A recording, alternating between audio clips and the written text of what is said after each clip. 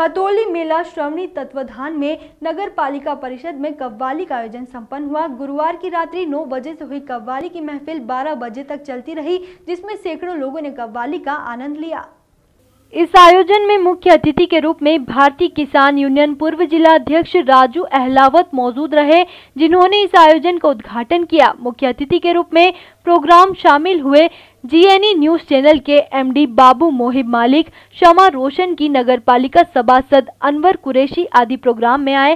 कव्वाल इनाम साबरी, एजाज साबरी, बनारस से मीना वारसी कव्वाल, कानपुर जिन्होंने अपनी कव्वाली शायरी से प्रोग्राम को सफल बनाया, जिसमें नगर के सम्मानित लोग सभासद मौजूद रहे। राजू अहलावत ने कहा कि इस तरह के प्रोग्राम होते रहना चाहिए।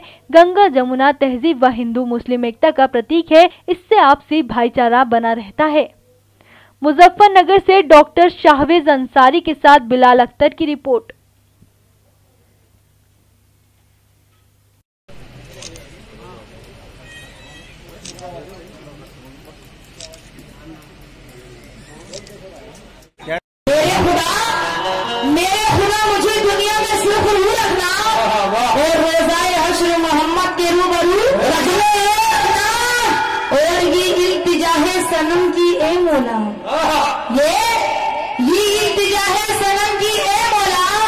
हर एक शख्स की महफिल में अबरू रखना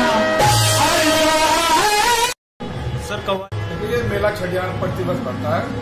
काफ़ी मतलब सैकड़ों सालों से ये परंपरा चली आ रही है।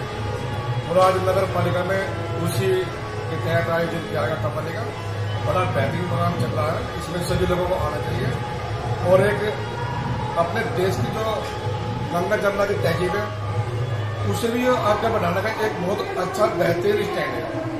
बड़ा अच्छा प्लेटफॉर्म है, इसको सबको आना चाहिए।